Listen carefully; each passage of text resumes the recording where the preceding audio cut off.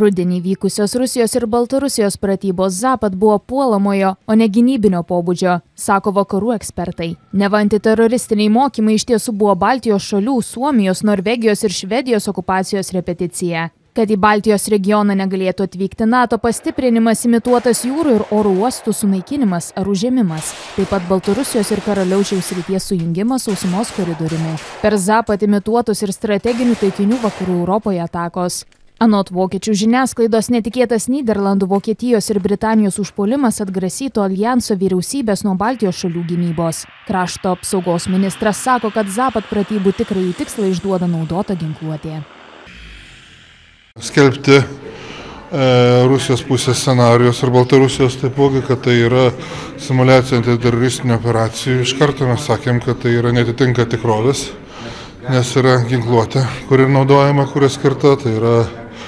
keliasdešimt tankų, na, virš šimto pėstininkų kovos mašinų aviacija, tai yra visiškai nesusijusi su teroristinė aplinka. Tai buvo treniruojamasi e, konvencinis karas su NATO, tiek gynybiniai veiksmai, tiek puolamiai.